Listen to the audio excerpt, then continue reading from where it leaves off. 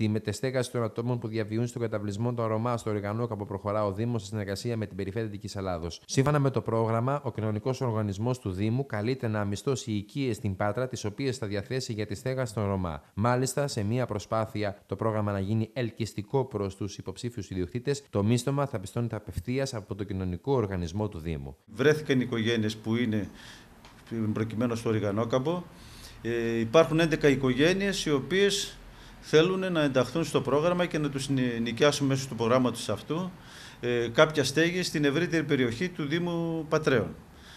Ε, έχουν συζητήσει, έχουν ενημερωθεί για τις υποχρεώσεις τους. Διαμερίσματα δεν υπάρχουν μέχρι στιγμής. Έχουν γίνει συζητήσεις, έχουν ενδιαφερθεί κάποιοι συμπολίτες μας να δουν με ποιους όρους θα τρέξει το πρόγραμμα. Ο βασικότερος όρος είναι ότι υπεύθυνος για την πληρωμή του ενοικίου και υπόλογος απέναντι στους ιδιοκτήτες με βάση το πρόγραμμα θα είναι ο κοινωνικός οργανισμός του Δήμου Πατρέων.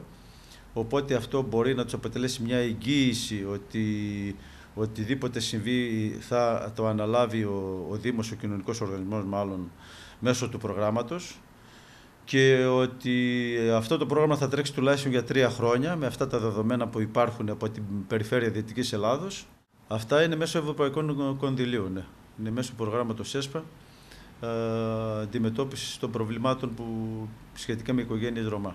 Με αυτή την κίνηση, ο Δήμος προσπαθεί να επιλύσει ένα διπλό πρόβλημα που παρατηρείται στην περιοχή. Καταρχάς, τη δημιουργία του Ανατολικού Πάρκου στο Οργανόκαμπο, αλλά και την επίλυση του στεγαστικού προβλήματος στο Ρωμά που διαμένουν στον καταβλισμό, στο οποίο φαίνεται πως είναι σύμμαχοι και οι κάτοικοι της περιοχής. Θα μπορέσει να λειτουργήσει από το Δεκέμβρη το... με την υποχρέωση να συμβουλεύει, να καθοδηγεί, να επιβλέπει και να επιμελείται γενικότερα τα προβλήματα των Ρωμά και τη συμμόρφωσή τους στην ε, προσπάθεια ένταξης στην κοινότητα, στη μεταγκατάσταση και όλα αυτά που συζητούμε. Παράλληλα, πρόκειται να δημιουργηθεί και ένα παράρτημα Ρωμά, αρμοδιότητα του οποίου είναι η μετεστέγαση αλλά και η παρακολούθηση της συμπεριφοράς τους για την ένταξη στην κοινωνία σε βάθος χρόνου. Ήδη έχουν πραγματοποιηθεί και οι πρώτες αιτήσεις προσλήψεων μέσω ΑΣΕΠ για συγκεκριμένες ειδικότητες ώστε να συσταθεί το παράρτημα Ρωμά.